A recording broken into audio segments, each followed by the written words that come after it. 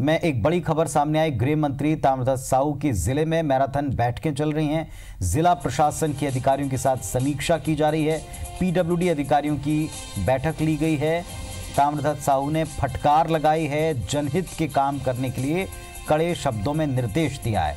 शाम को पुलिस अफसरों की बैठक भी गृह मंत्री लेंगे।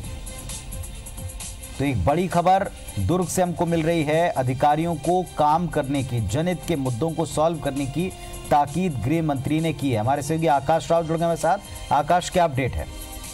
जी, बताना चाहेंगे, आचार संहिता हटते ही दुर्ग ज़िले के प्रभारी मंत्री और गृह मंत्री ताम्रध्वज साहू ने आज अधिकारियों की मैराथन बैठक हुई है।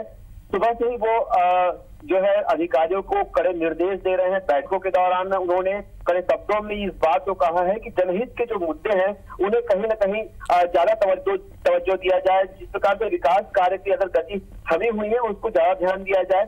बार बार किसी भी जो जनता को अधिकारियों के पास आना ना पड़े, उनके हर कार्यों को तत्काल पूरा किया जाए और ऐसी कोई भी शिकायत मुझ तक ना पहुँचे, ये बात भी सांसद साहू ने अपनी बैठकों के दौरान में कही है।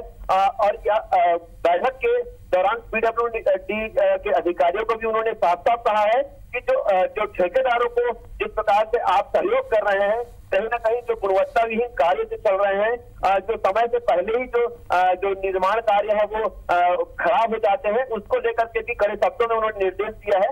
कि जो जनहित के कार्य हैं, उन पर ध्यान दिया जाए, जनता से जुड़े कोई भी काम, और आप किसी भी तरीके से किसी अन्य को फ़ायदा ना पहुंचाते हुए सिर्फ़ और सिर्फ़ जनता के हित में काम करें।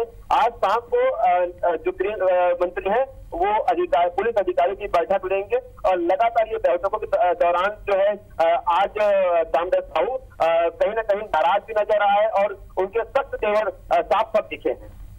चलिए आप नज़र रखें, आपसे अपडेट हम लेते रहेंगे इन मीटिंग्स को लेकर। फ़िलहाल शुक्रिया इस जानकारी के लिए।